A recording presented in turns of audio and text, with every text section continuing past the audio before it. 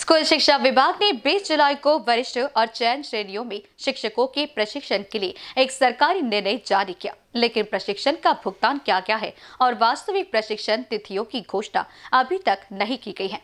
इस संबंध में तारीखों की घोषणा की जानी चाहिए, ऐसा निवेदन भाजपा शिक्षण आघाड़ी की ओर से मुख्यमंत्री, शिक्षा मंत्री, शिक्षा सचिव और निदेशक को भेजा गया है। चूँकि सरकार ने 2015 से राज्य में वरिष्ठ और चुनिंदा वेतनमानों के लिए, शिक्षकों के लिए सेवाकालीन प्रशिक्षण आयोजित नहीं किया है। इसलिए हज़ारों शिक्षण वेतनमान से वंचित है।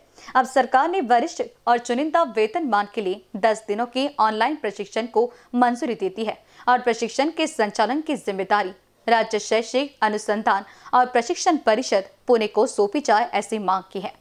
वीस जुलै दोन हज़ार एकवीसच्या शासन निर्णयानुसार शिक्षकांना आता वरिष्ठ व निवड श्रेणीच्या प्रशिक्षणाकरिता दहा दिवस ऑफलाईन ऑनलाईन अथवा पन्नास तासाचं ऑफलाईन ऑनलाईन प्रशिक्षण ग्राह्य करण्यात आलेलं आहे.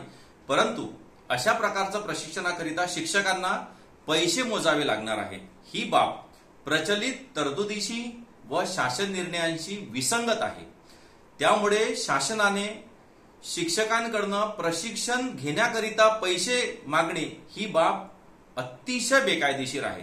शासनाने अशा प्रकारचं प्रशिक्षण निशुल्क देण्यात यावे व बरेच शासन निर्गमित केले. परंतु अजूनही वरिष्ठ व निवड प्रशिक्षणाच्या तारखांना शासनाला मुहूर्त मिळाला नाही. भारतीय जनता पार्टी शिक्षक आघाडीतर्फे ही नम्र विनंती आहे की शासनाने तात्काळ वरिष्ठ व निवड प्रशिक्षणाच्या तारखा घोषित कराव्या व प्रत्यक्ष प्रशिक्षण घ्यावे.